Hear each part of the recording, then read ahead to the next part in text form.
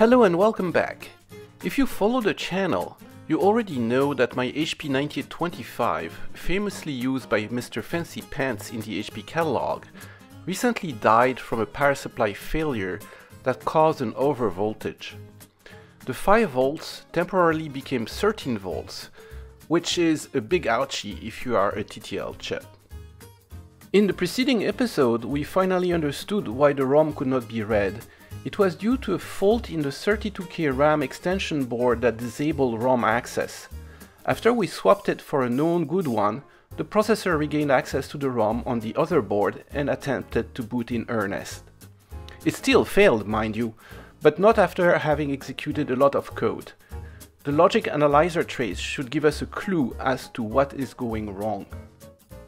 Our first step, of course, is to print out a listing of the trace on none other than our trusty HP 2225A, the world's first and arguably still one of the best consumer inkjet printer.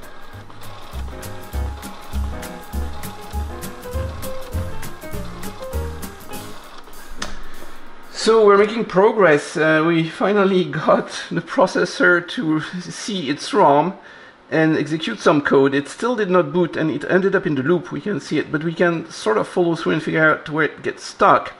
And uh, fortunately, uh, another enthusiast, uh, Craig Ruff, disassembled uh, the, the system code.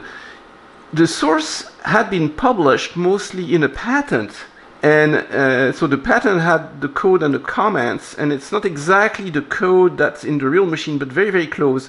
So by uh, disassembling the code of the real ma machine and looking at a patent, uh, Craig got a uh, almost fully commented uh, code, and we can follow it along. So it starts correctly at address 40, as expected from reset. It does the jump to 10,000, perfect.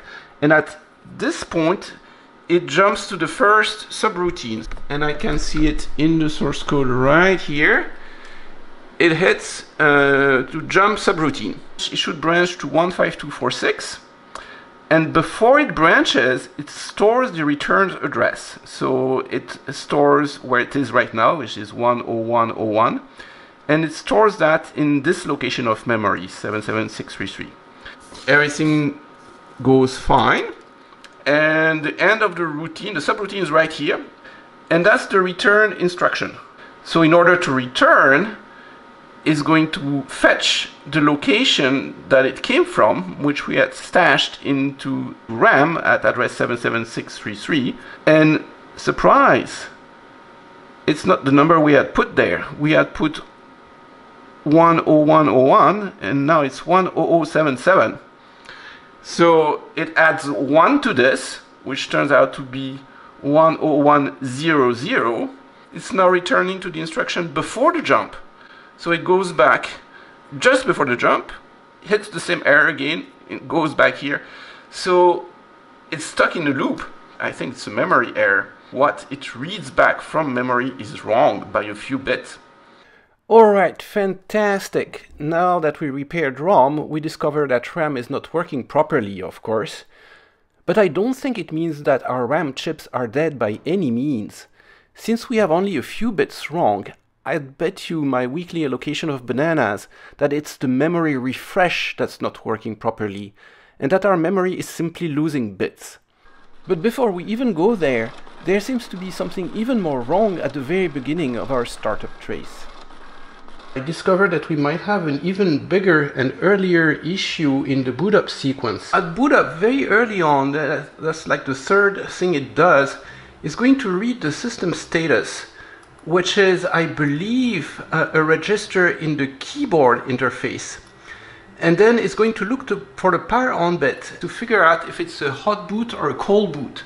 So on, on a cold boot, which means we, you just powered it on, is going to do an extensive initialization. But if it's a hot boot, meaning the reset button on the keyboard was pressed, it's going to do a much shorter initialization, not even bother to erase memory, try to keep your program and all your pointers where they were. And when you look at the code here, it takes the wrong branch. This is a cold boot, we just powered it up, and it reads the keyboard and it gets the wrong bit. It thinks it's a hot boot from the reset key, which we haven't pressed.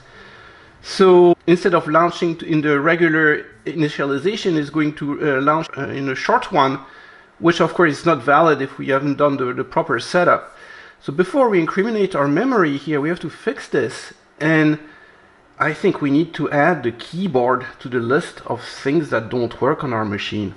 So great, the keyboard, which is another complicated thing with its custom HP chip on it, is on the list of casualties now too. Sorry, let's look at this thing from a uh, from a uh, standpoint of status. Uh, what have we got on the spacecraft that's good? Well, Gene, uh, I'd say not much. There is not much that's good. Alright, so we suspect the machine is not booting correctly because the keyboard was bad because it uh, gave it a, a, a, keyboard reset when it shouldn't have. So we put the good keyboard from the good machine, we still have the good A25 memory card. And now we are going to try to boot it. Didn't come up. Okay, well, we can reprint that out and see what happened. So this time we get an even better trace. So now it's seeing the keyboard is doing the right branch. It falls into the correct initialization and it goes about checking memory. And we can see that it finds at least part of the memory is fine so this is all memory checking. Then we, we jump when it stops seeing good memory. And that's at address, uh, where is it? 6,000, 60,000. So it's, it thinks it has 16K of good memory. It, it, should have 64, but it's, it's so the 16 that's on the RAM ROM board. But that memory has been thoroughly checked. It's been uh, read and written and read with alternate bit patterns. So that's good memory. And then it goes further. It goes up to the main loop. So at this point, it should have booted up. Uh, but we still uh, see nothing on the keyboard. So what I think is that it's on the verge of booting, and if it had good memory, it probably would boot.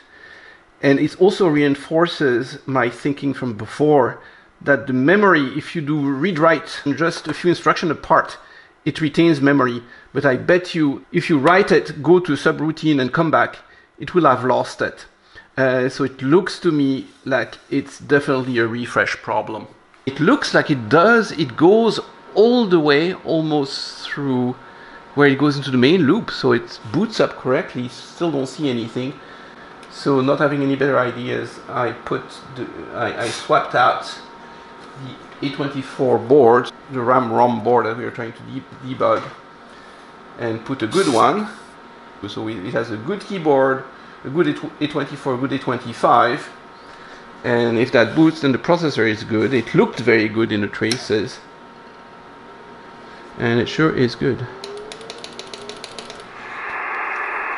Uh, 13, this is Houston. Uh, we think your processor is good. Yeah, just the processor. And the keyboard, the reset definitely is bad. And we have a bad A25, bad A24. Which is uh, except for the keyboard, the keyboard has a proprietary chip, but the memory boards, they don't have any proprietary chips. They are just normal. So we have bad memory somewhere, and I don't think it's bad ROM, right? Uh, so it's something in that refresh logic that's not doing fine. So we think it's losing its memory. Dave, my mind is going. I can feel it. And Carl and I were just going to making our way through the board and trying to find why the refresh was not working and all of a sudden it started to only do a few instructions and quit. Uh, and we thought it was doing ROM and uh, well we knew it was reading ROM even on the bad board and going to quite a few instructions and then we looked at it on, on the logic analyzer and we can see that the first fetch at RS40 it reads 1640001 instead of 041 So it goes in the weeds right there. The ROM itself, we go binary. And you will see that the four bit of the second digit is always zero, zero, zero. If I put my cursor right here, you will see nothing but zeros. We have lost a bit in the ROM. It's always zero.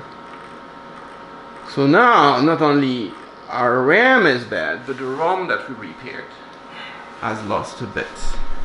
And so that's the problem. We have to repair it faster than it breaks. Not fast enough. So it seems that we have a disaster of Apollo 13 proportions on our hands, and it's getting worse by the minute. Will this end well, or will all the circuits burn up upon re-entry? Well, as of the editing of this video, this is as far as we've gotten, so we still don't know. In the meantime, I'll tell the crew to take refuge into the processor. Because our good HP processor, you know, it still works. So the whole thing might be fragilized, and Yeah. we have to repair it faster than it dies. Right, right. Or just do a mass replace of all the chips. you know, it, it, it might come to that, right? Um, I, I think if we were- weren't so stubborn, that that would be the more logical thing to Or do. just you toss it out put a replacement board in. yeah.